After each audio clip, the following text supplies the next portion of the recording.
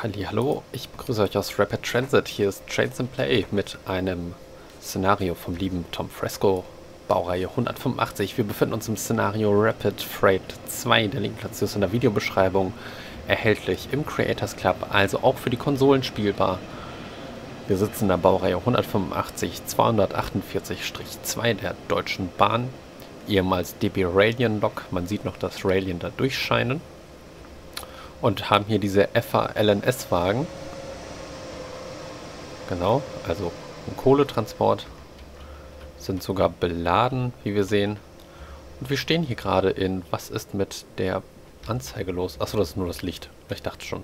Wir stehen hier gerade in Leipzig Messe und äh, fahren bis nach Dessau. Deshalb, bevor wir hier weiter rumtrödeln, einmal rein in die Kiste und aufrüsten, was wir aufrüsten können. Das ist die 185 von der Main-Spessart-Bahn, wenn ich das richtig im Kopf habe.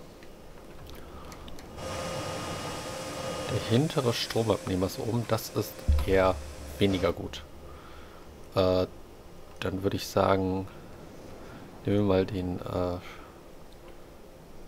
Hauptschalter raus. Stromabnehmer runter.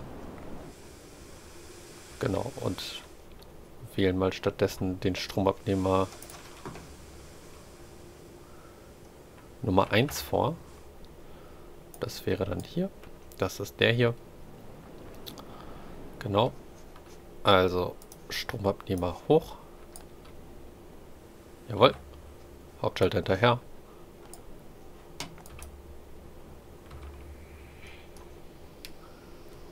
Jawohl, das funktioniert. Sehr gut, das haben wir dann soweit. Äh, wir fahren jetzt erstmal ohne AFB. Wir sollten dafür, äh, wir sollten allerdings mal die PZB anschalten. LZB geht nicht, PZB machen wir an, LZB machen wir an. Wir sind in der unteren Zugart. Das ist vermutlich genau richtig. Ähm, jawohl, das funktioniert alles. Hier gehen wir noch auf die Fahrmotoransicht. Wir haben Ausfahrt schon gegeben. Da kommt noch eine 425 rein. Dann würde ich sagen, der Fahrplan ist an dieser Stelle zu ignorieren. Der ist für die Mensch-Bessert-Bahn. Wir lösen die Bremsen. Lokbremse ist schon gelöst. Und schalten Leistung auf.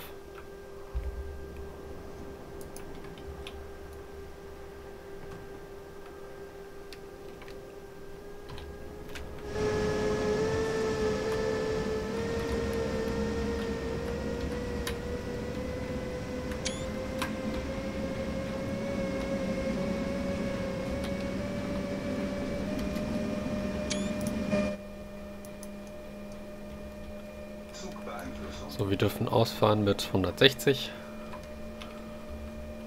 Da wir in der unteren Zugart sind, Max 100 für uns.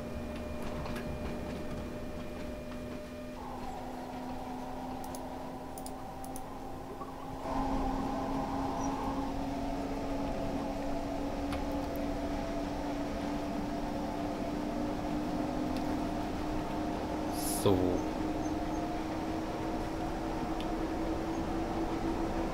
Genau, das ist die 185 von der Main-Spessart-Bahn, heißt also, die ist natürlich jetzt nicht ganz so, äh, ja, die qualitativ beste 185, die wir im Spiel haben. Das ist nämlich die von Dresden-Riesa. Aber das ist okay. Äh, ich würde ehrlich gesagt gerne noch Fernlicht anmachen. Ähm so.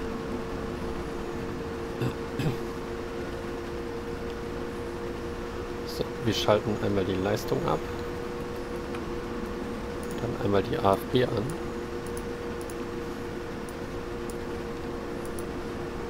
So, das hat schon funktioniert und gehen wir jetzt mit dem Leistungshebel auf die... Nein, nein.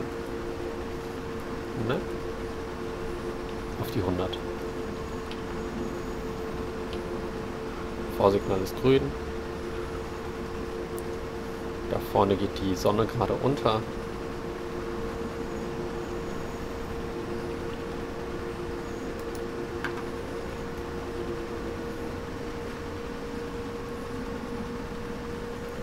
Und wir genießen hier einfach mal die Fahrt in den Sonnenuntergang hinein. Können natürlich wie immer hier uns um, das war das Falsche, um Bewölkungsgrad zum Beispiel kümmern. Da können wir noch ein bisschen was umstellen. Der Wind, die Vegetation.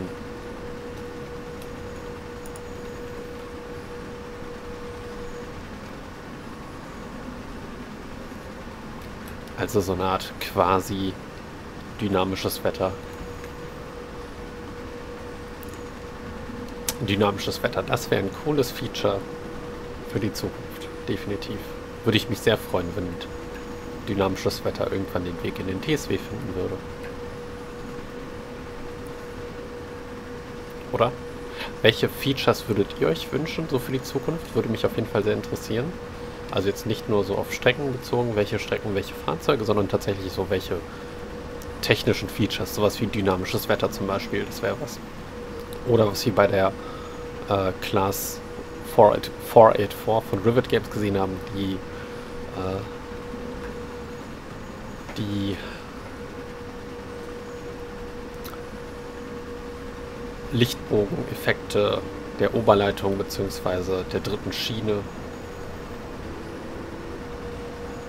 oder ja, was es halt sonst noch so, so gibt. Dann ist eine 204. Ich weiß nicht, ob ich es erwähnt habe, der Link zu dem Szenario ist natürlich in der Videobeschreibung. Erhältlich im Creators Club, gebaut von Tom Fresco.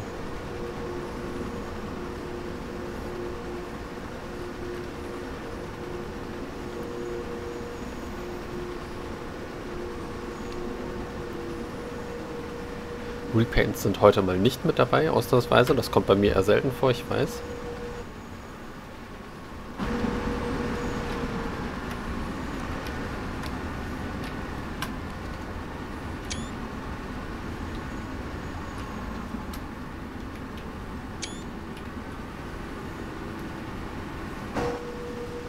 204. Mit Habinswagen.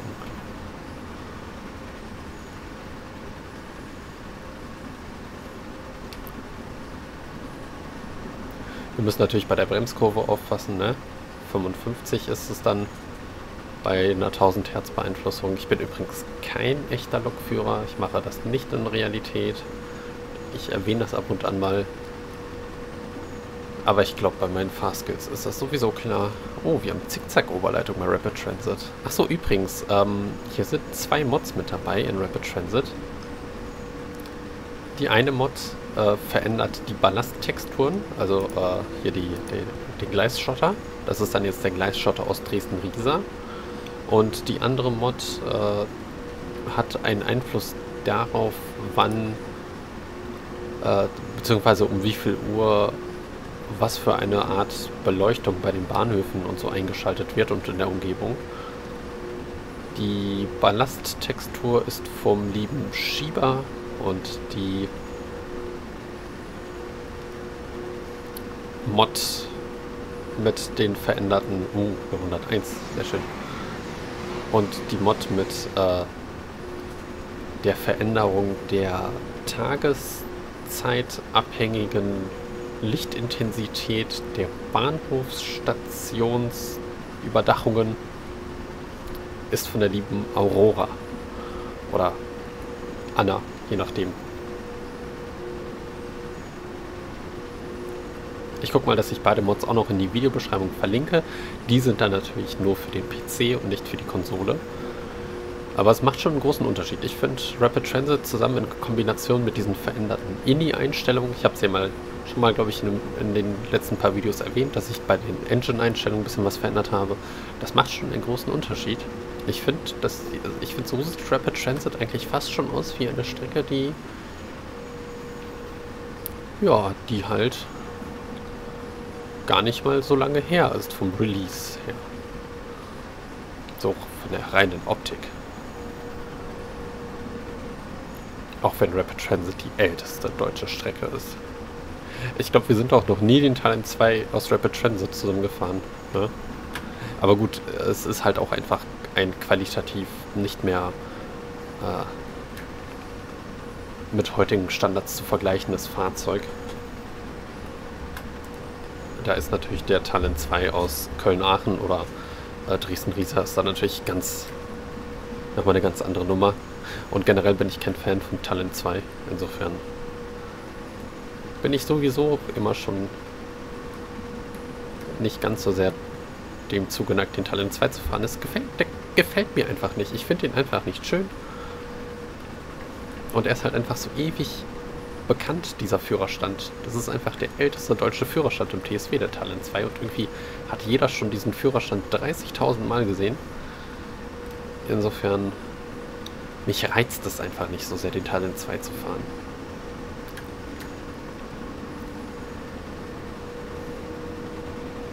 Da finde ich hier so einen Güterzug ehrlicherweise schon etwas, ja, etwas äh, interessanter.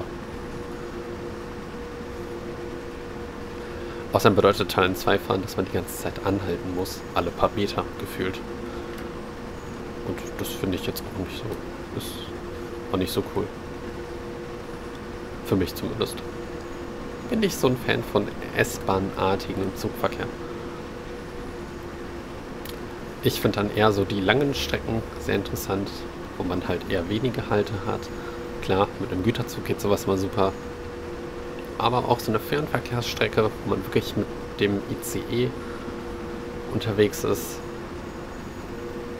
Das ist natürlich auch sehr, sehr cool. Vor allen Dingen, wo man dann auch noch, ähm, wenn es jetzt eine neue deutsche Strecke gäbe, es gibt ja eine, wir wissen ja nicht, welche das ist. Aber das wäre halt natürlich auch sehr, sehr schön, wenn es da irgendwie so eine wenn es eine wirklich lange Fernverkehrsstrecke wäre.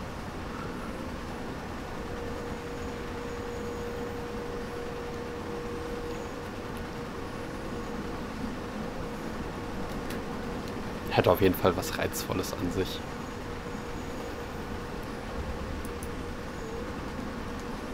So, das Signal zeigt immer noch Fahrt. Oh, es wackelt aber wie sonst was.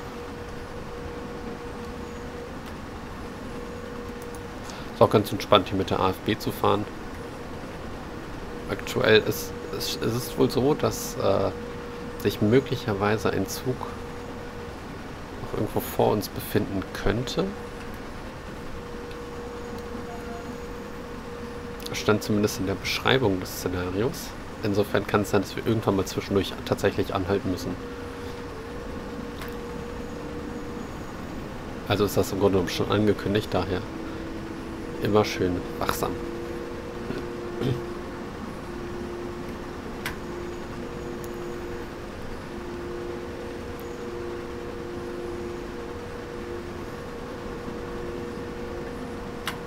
Achso, und als ich gefragt habe, was ihr euch so für Features wünscht, ja, so ein Editor wäre natürlich toll, aber da hat, glaube ich, schon, äh, das wurde schon mehrfach seitens DTG gesagt, dass der nicht kommen wird. Auch in Zukunft nicht. Also ist nicht geplant. Insofern. Ah, da ist er, der Talent 2, wenn ich schon gerade ihn so abgelästert habe. Aber bei dieser silbernen Lackierung finde ich den auch gar nicht mal so hässlich. Macht eigentlich was her.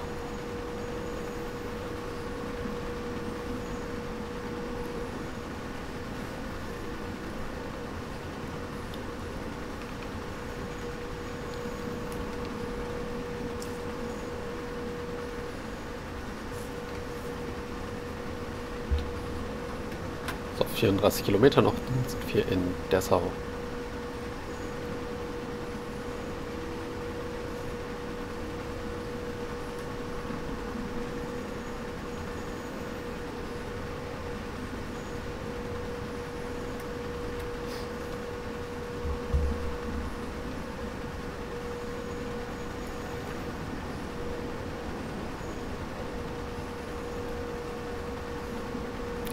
Sehr schön. In den Sonnenuntergang direkt hinein.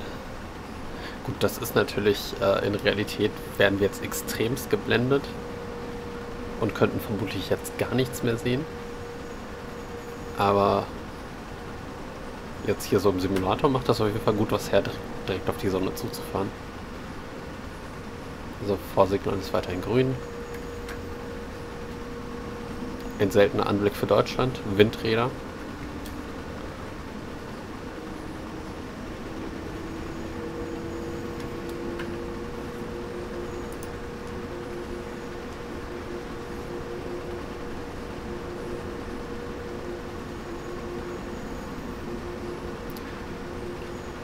Das mag zwar so ein bisschen absurd schnell aussehen, wie, die sich, wie schnell die sich so drehen. Aber ich habe ja, wir sehen es ja hier, den Wind voll eingestellt. Und tatsächlich ist das so, beobachtet das mal in Realität. Wenn es windig ist, wenn es wirklich sehr windig ist, dann drehen die sich auch so schnell. Das ist faszinierend, weil die ja, wenn man vor denen steht, erst merkt, wie groß so ein Windrad ist. Und wenn man dann sieht, wie schnell sich das dann bewegt, das ist kaum begreifbar eigentlich.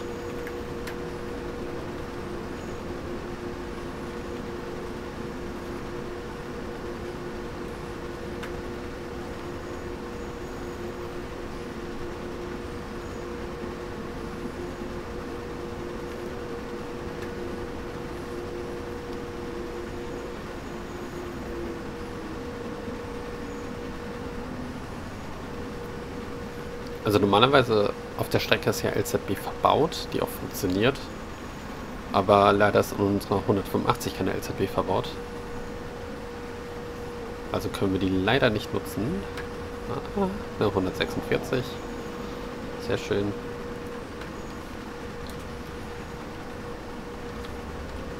Und wir haben halt zu erwarten,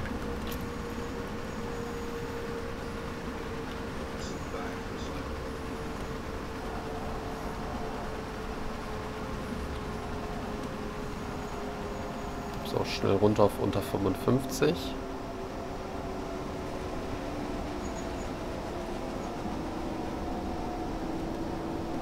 So. Lösen einmal aus.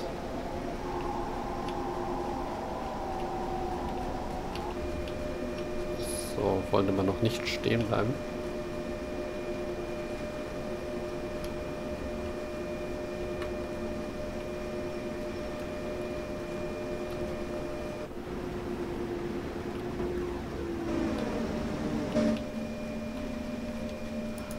Schauen mal, wo das rote Signal ist. Ich kann es noch nicht erkennen. Das ist ein Vorsignal Wiederholer. Oder?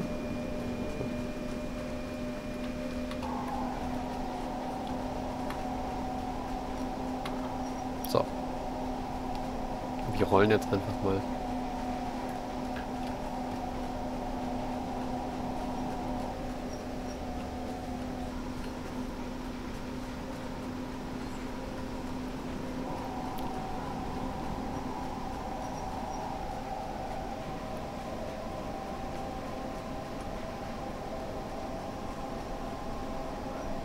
Ist das rote Signal.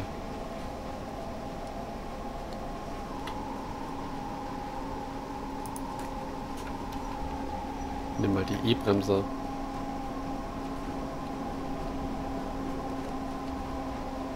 Bestätigen wir. Oh, Moment. Ah, 100, 500 Hertz Magnet.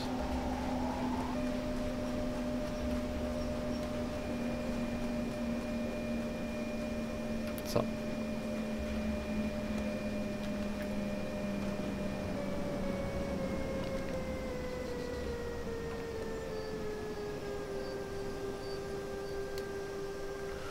So.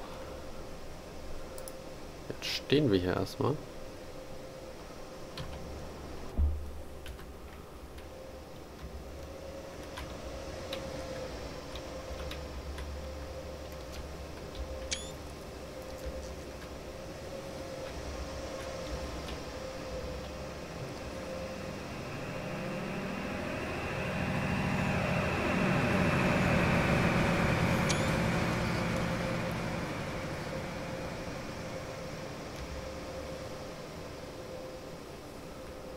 Leider fehlt den Wagen der Sound. Das finde ich manchmal echt schade, dass bei den Güterwagen da immer mal wieder der Sound einfach wegbricht.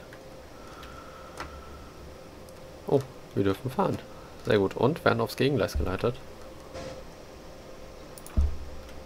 Also lösen wir die Bremsen. Und fahren an. VMAX 25, weil 500 Hertz Magnetbeeinflussung.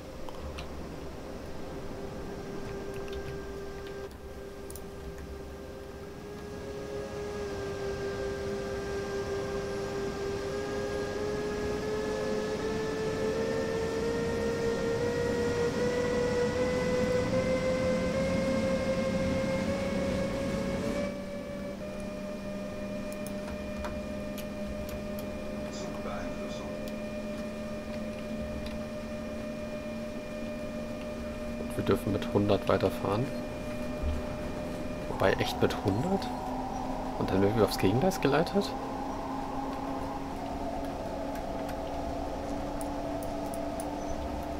Ich würde hier ehrlicherweise nicht über diese Weiche mit 100 fahren wollen. Ja. Aber doch 100. Tatsächlich. Verrückt. Aber okay, wenn das so ist, dann ist das so.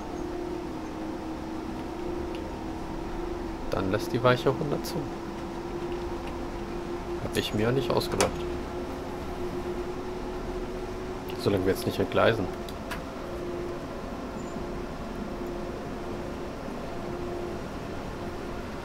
Sind wir auf jeden Fall auf dem Gegengleis unterwegs.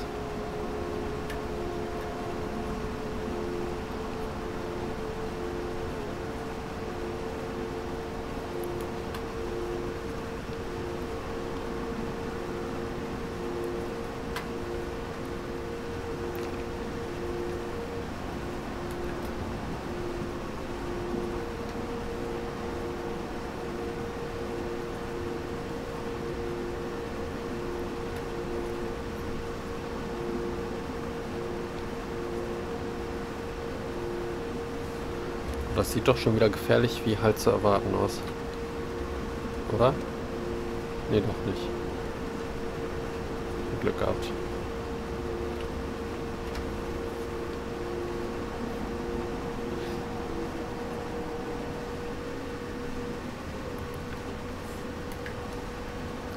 So, die E-Bremse wird voll reingenommen.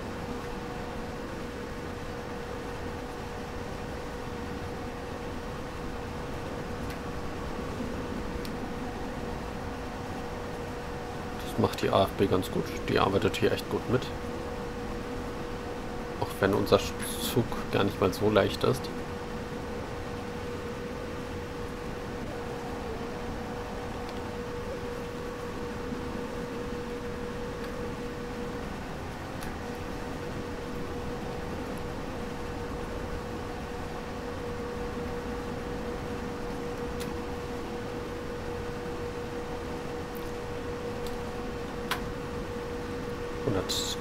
Hundertdreiundvierzig, hunderteins. Also ein PWZ gerade an uns vorbeigefahren. Das ist eine ganz interessante Kombination. War übrigens die Metropolitan 101. Moment mal, das war die Metropolitan 101. Interessant.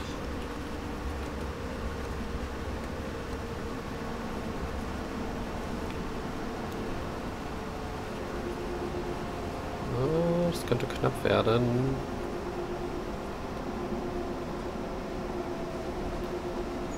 Also E-Bremse ist voll drin. Okay, das hat funktioniert. Sehr gut.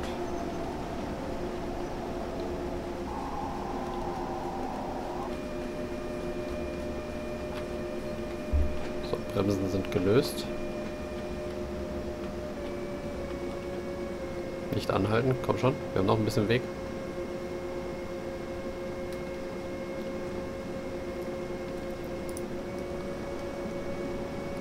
Also von der Beleuchtung her finde ich es echt schön. Das ist, glaube ich, dank der Mod. Von der lieben Anna. Hat so ein bisschen was von Dresden-Riesa jetzt mittlerweile, ne?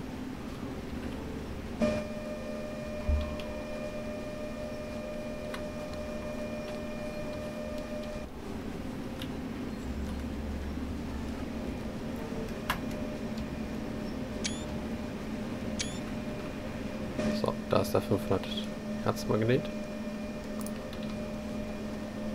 Der kann uns, kann uns aber nichts anhaben, weil wir schon 22 oder nur noch 22 fahren.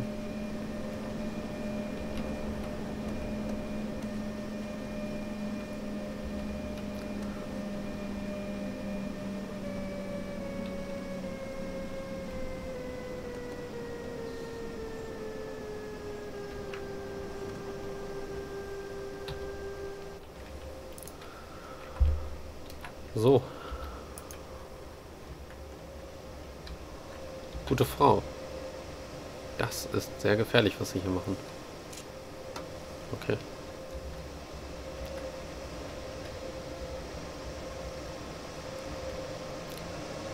Hier ist nur 143.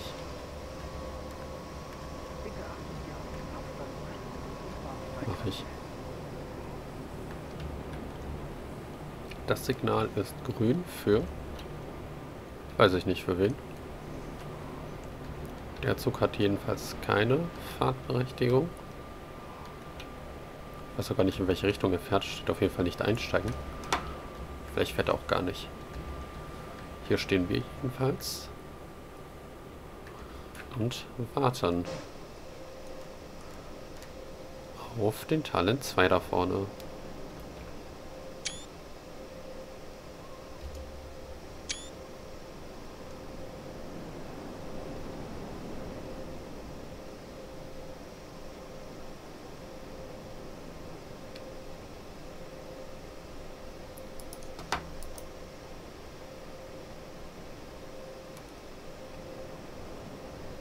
Leipzig.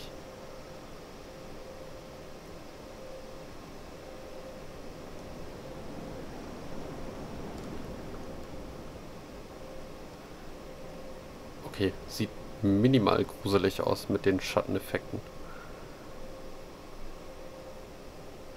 Nach Leipzig. Dürfen wir fahren? Jawohl, wir dürfen fahren. Wir lösen die Bremsen.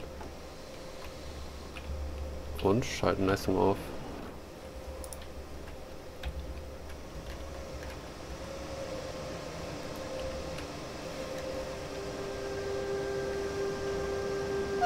Da. Boah. Gucken wir nicht hin.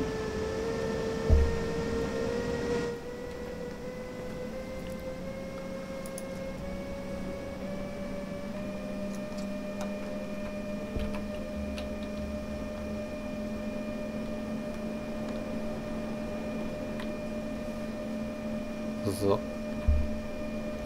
Ab hier dann 120 mit Ankündigung auf 60.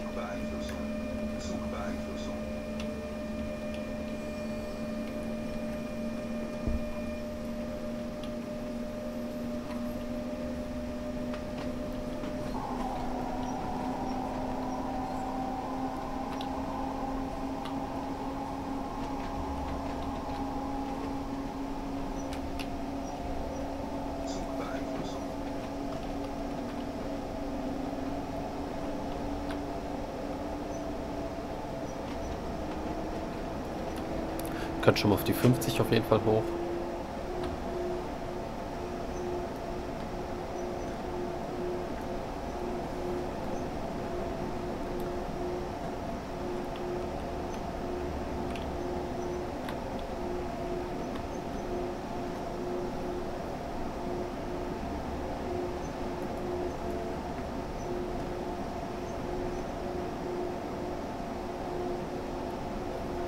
Und befreien uns.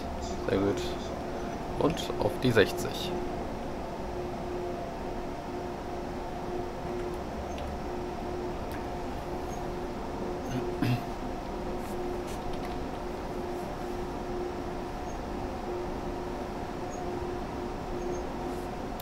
Die hier, ab dem Signal.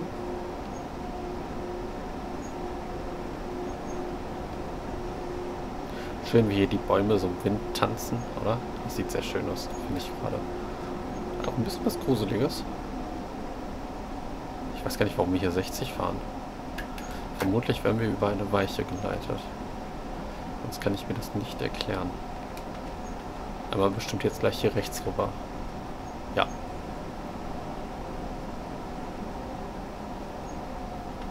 Sehr gut. Und ab hier dürfen wir dann 120 fahren. Können wir schon mal bei der AFB einstellen.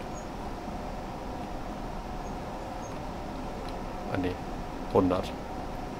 Vergessen.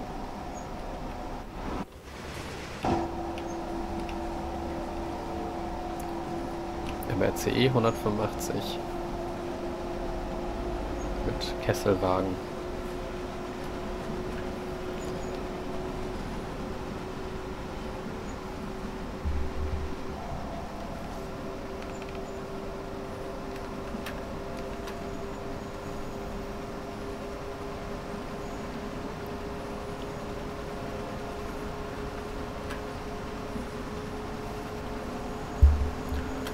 Mal hier so ein bisschen die Umgebungsvariablen anpassen.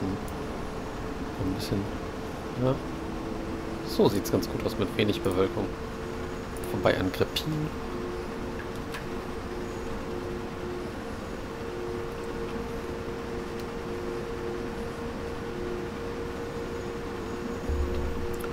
Dann haben wir immer noch ganze 22 Kilometer vor uns. Ich hoffe jetzt aber ohne einen Halt zu erwarten.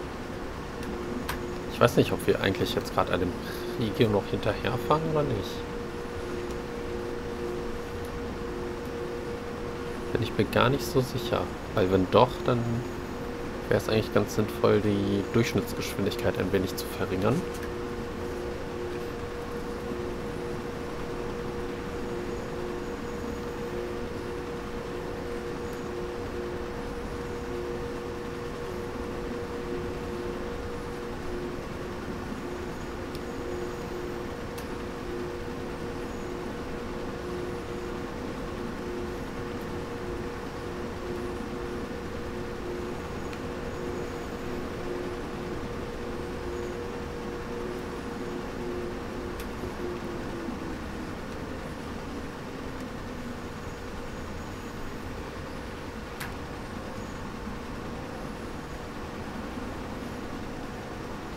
Vorbei an der nächsten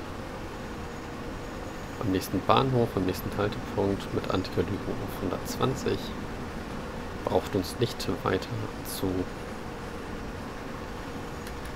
interessieren.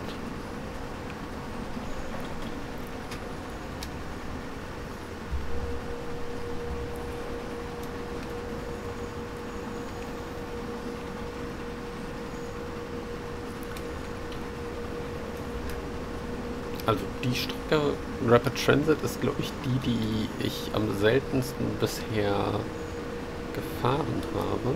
Oder auf der ich am seltensten bisher gefahren bin.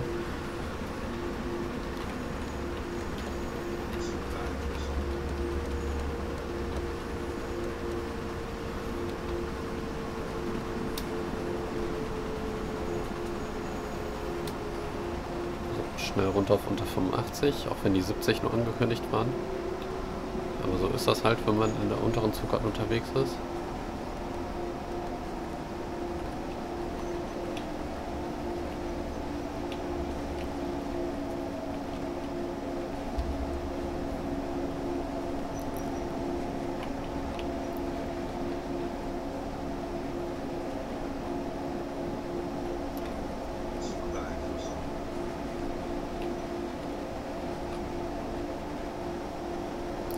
Also die Strecke ist halt die, auf der ich, glaube ich, bisher am seltensten unterwegs war. Von den deutschen Strecken her. Klar, die amerikanischen und englischen Strecken, die sind dann noch ein bisschen nochmal was anderes, weil die dann mehr, nur- mehr so ein Rand, oh, so ein Randinteresse füllen, maximal. Gut, die US-amerikanischen nicht mal das wirklich, ehrlicherweise. Das ist cool gemacht. So zusätzliches am Sperr. Ausguckfensterchen.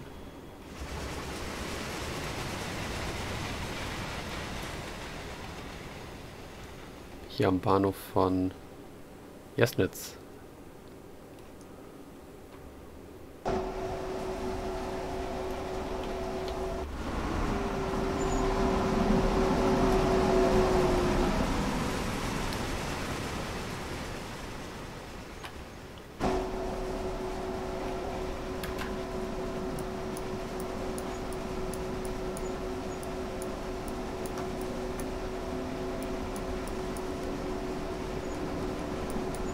Ja, haben noch ein ganzes Stück vor uns. Hoch. So, ab hier dürfen wir wieder auf 100 hoch. Insofern Leistung zurück und AFB schon mal auf die 100 einstellen. Also ich glaube, auf gar keinen Fall sollte man bei einem Güterzug, vor allem bei einem beladenen Güterzug, mit der AFB beschleunigen, weil die AFB, glaube ich, manchmal dazu neigt, so ein bisschen ruckartig zu beschleunigen. Und das kann gerade bei so einem beladenen Güterzug durchaus zu Problemen bei der Kupplung führen, dass da am Ende irgendwie was auseinanderreißt, weil man zu ruckartig da anzieht. Deshalb muss man auch eigentlich die Leistung ein wenig diskreter aufschalten, als ich es mache.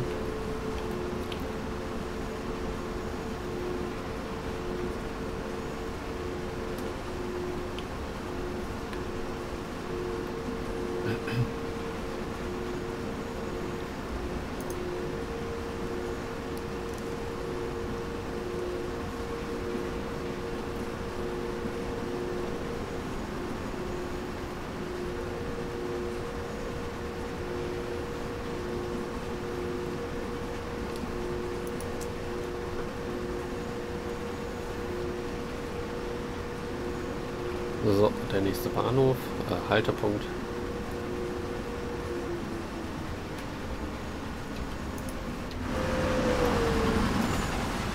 Ragun.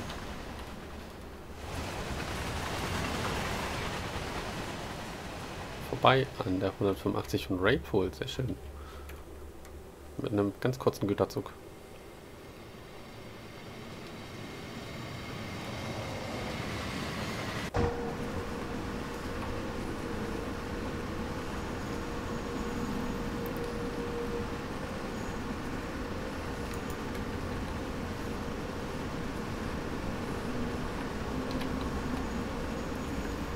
Ja, die Strecke ist eigentlich recht lang, ne?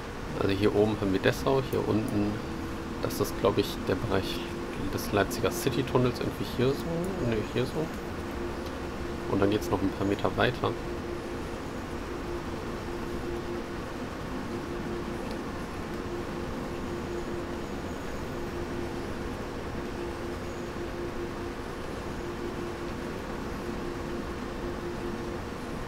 Ich finde es immer wieder herrlich, wie weit wir reinzoomen können. Ich krieg davon nicht genug.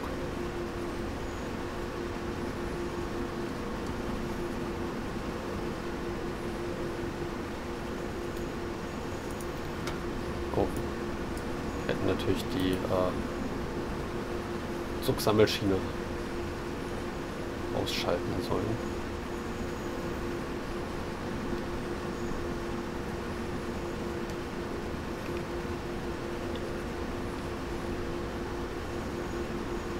Und da ist auch schon der nächste Haltepunkt.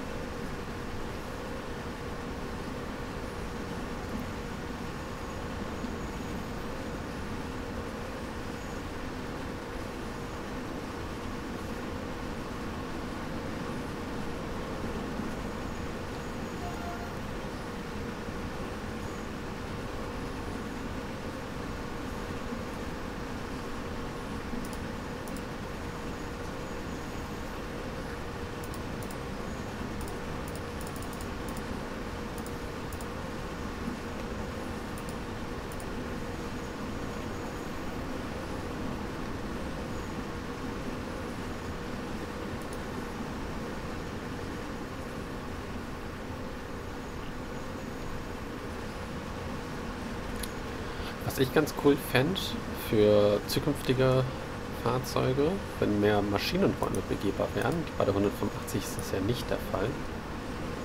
Aber es wäre ganz cool, wenn das bei einem neuen Fahrzeug möglich wäre. Wir haben ja ein paar Maschinenräume, die wir begehen können auf den Loks. Die 182 zum Beispiel, die 143, die 112, die 155. Da sind die Maschinenräume begehbar. Aber weil es halt auch einfach sinnvoll ist, weil man dort die Sicherungssysteme zum Beispiel einschaltet. Das machen wir hier bei der 185 eben im Führerstand. Insofern ist da gar nicht so die Nötigkeit, einen Maschinenraum auszumodellieren. Ne?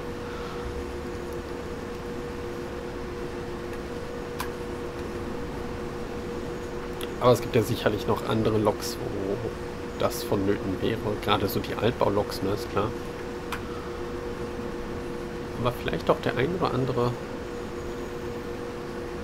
Zug mit Triebkopf.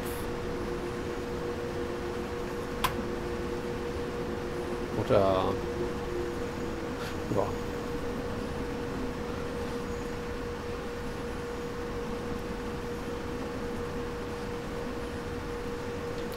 Ist mittlerweile untergegangen.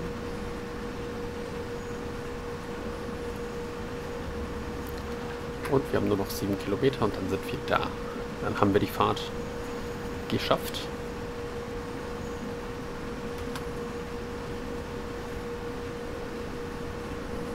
Was ich auch zum Beispiel schön fände, wäre eine Karte, die etwas mehr bringt als diese Karte, denn die Karte ist aktuell komplett ohne jeglichen Nutzen.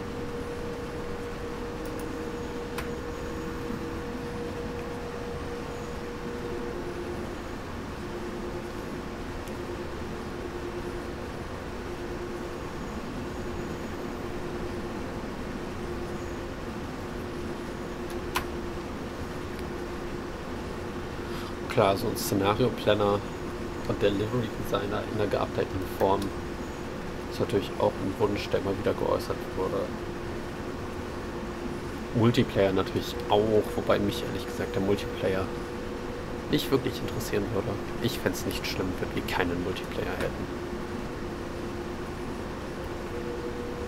Ne, ob jetzt in diesem Zug hier gegenüber, den ich für ungefähr drei Sekunden sehe, irgendjemand sitzt, jetzt mit mir im gleichen Server ist, oder die KI, das kann mir am Ende dann doch gänzlich egal sein.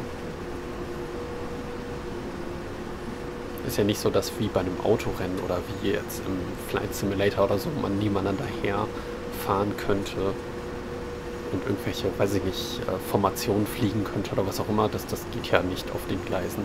Wir haben ja Signale hier, wir haben ja ganz feste, festgelegte Fahrwege.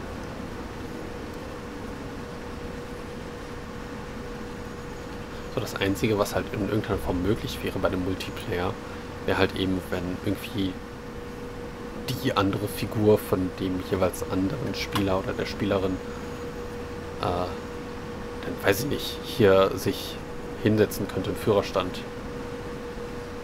Und dann denke ich mir auch, ja toll, schön.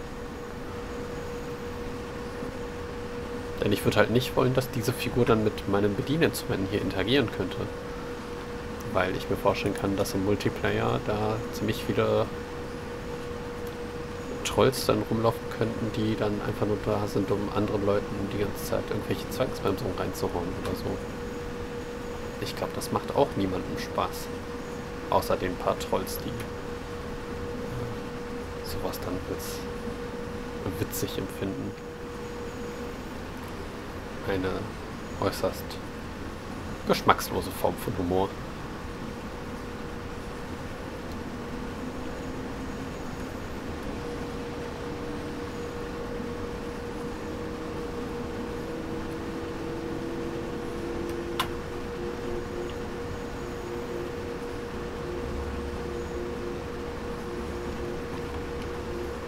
So, zwei Kilometer noch.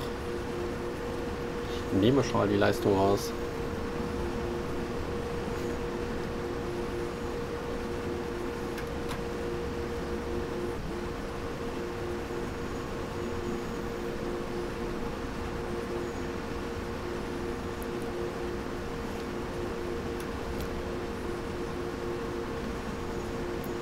Die Ankündigung auf 130 musste nicht bestätigt werden, hat aber geblinkt. Oh, es musste doch bestätigt werden.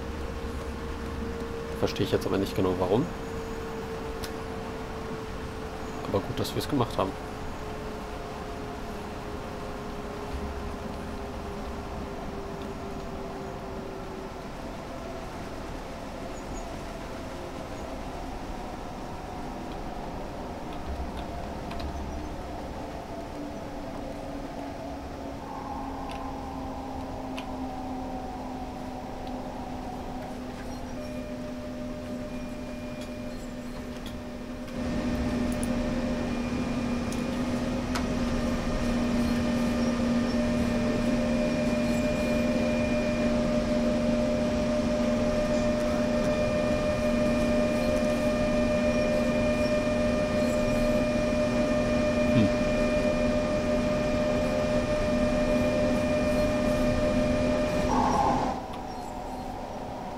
halt zu erwarten.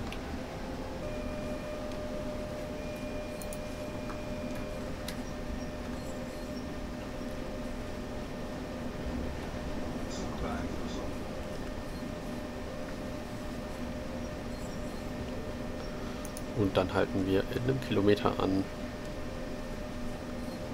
In Dessau, da steht einiges an Rollmaterial. Noch 143 und ein Talent 2. Wir werden dann hier über dieses Gleis rechts geleitet.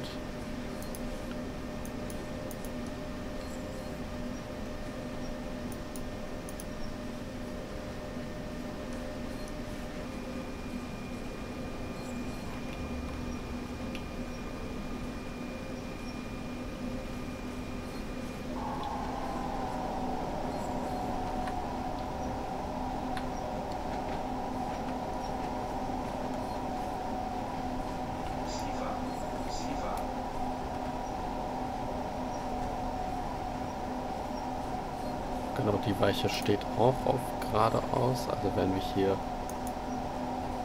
an dem Bahnsteig entlang geleitet.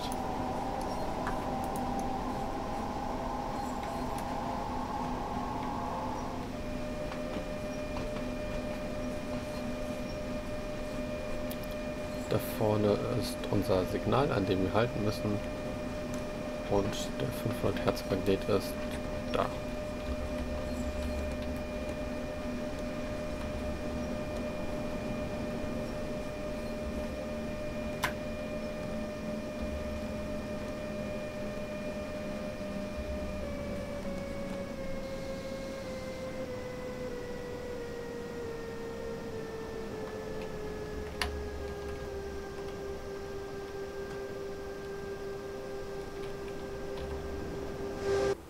So, sind der Weiche? Ja, sind wir.